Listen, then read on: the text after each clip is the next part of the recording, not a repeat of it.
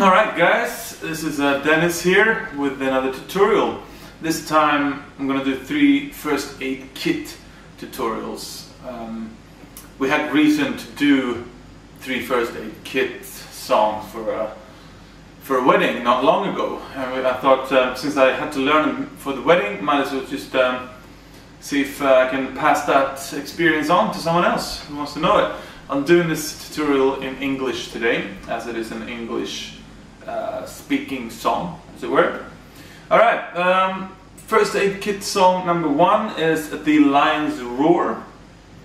And um, we do that in A minor, uh, open, chords here. So as usual with these songs, kind of just gonna establish a, a good groove. And we do that by um, doing the chords, and the chord progression is uh, A minor, C, and then G, and then back to A minor, right? Uh, so I'm gonna just go through the structure as I go through the tutorial. So we start with the intro. Um, strumming pattern is uh, as follows.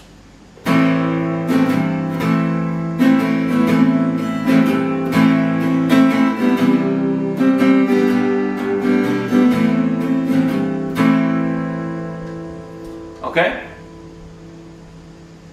So,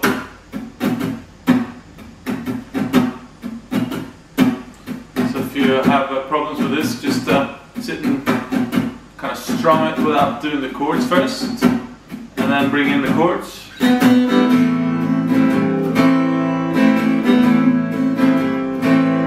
What I'm doing with the bass note here is um, on the A minor chord progression, we have the pinky here uh, free to kind of uh, do what we want with it. And we put that on the E string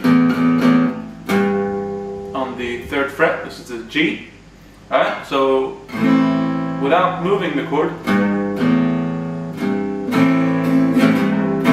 and if you can, if you have enough strength in your hands um, preferably you bend the note slightly and do a little kind of a tremolo with the A minor. So strum pattern, the G note, and the C, and we hammer on on those. We hammer on on the A minor, do a little, just to color the chord a little bit, and do the same on the C.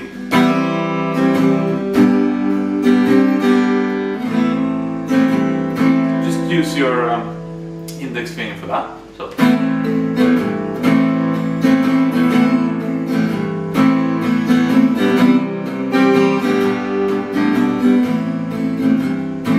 So yeah, I just noticed I'm doing the on the C. I'm also using the index finger and the little finger.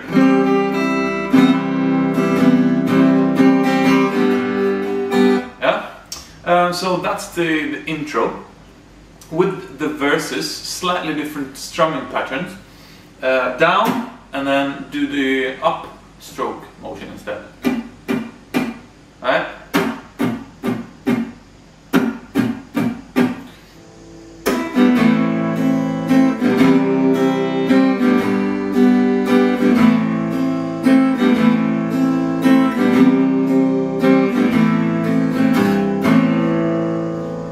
And then you repeat that again.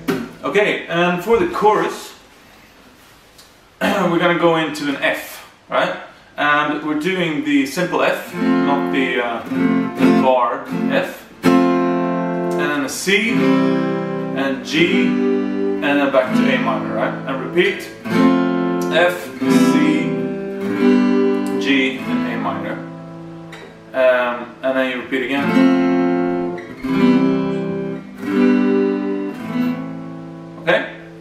So, um, the first time it comes around they say, and I'm a goddamn coward, right? So, and I'm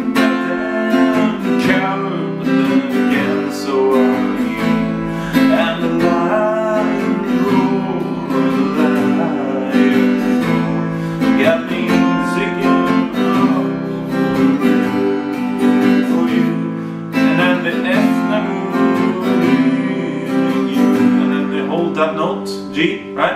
And then kind of let that ring out. And then on the beat, you come back in. What to do? And then we're back into this little interlude.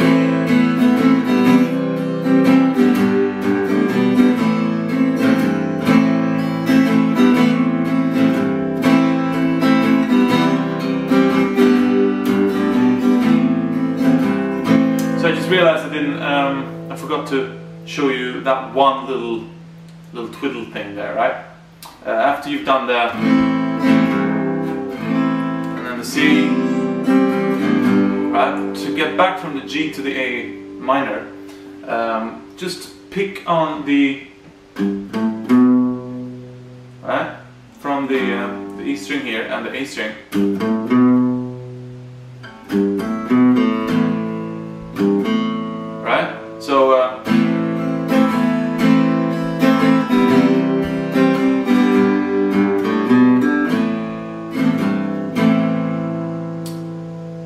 Stuff. So um, we have from the G, little bit I'll keep going, um, and then the D string as well.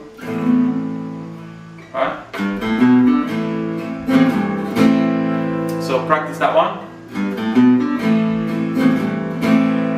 And then there's the, the next verse, which is slightly different from the first verse.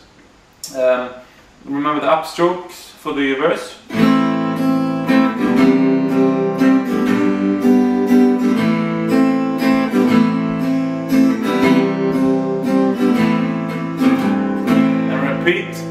Now the slightly different bit comes along.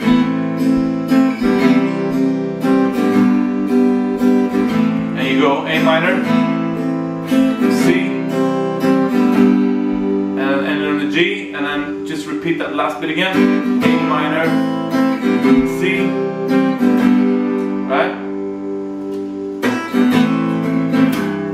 This bit again, and a second chorus.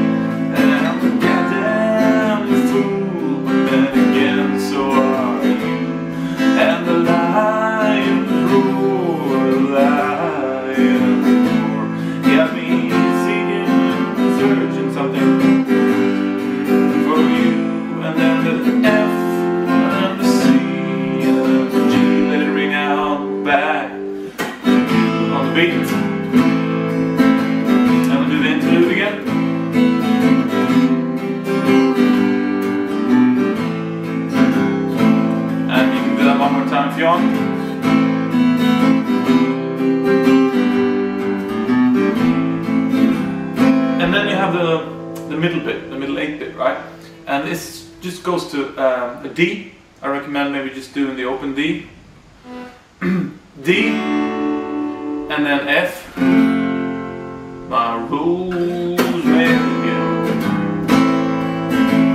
And repeat again. Simple D. Sometimes I leave forgotten lakes and I'll sing. Right? That's as easy as, that middle bit is. And then, my dear friends, uh, it goes to the um, final kind of chorus bit, right? And every once in a while I'll sing a song for you that will rise above the mountains and the stars and the seas.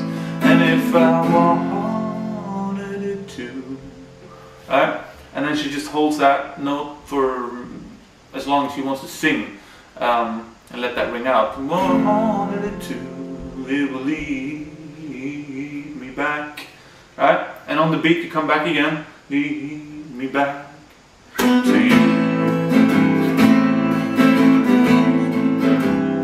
And the final lines roar chorus and the lions roar. It's just you let the chord ring out. The lions roar. Same chords though. It's something that I have heard before. And then same again. That lonesome way. Oh, you kind of slow down the, um, the song a bit. Oh, lions. And when you've done that, you kind of diminish the song, this tempo a little bit there. You just end that with an A minor chord. Uh, just opted to do it down here on the on the bar. You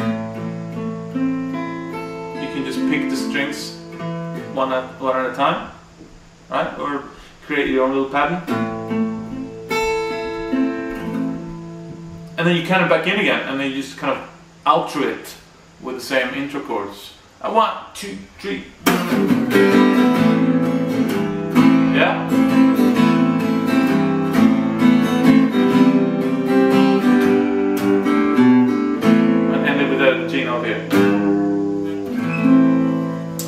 Simple as that. So yeah, good luck, go home, practice, make perfect. Thank you, I'm Dennis. See you soon.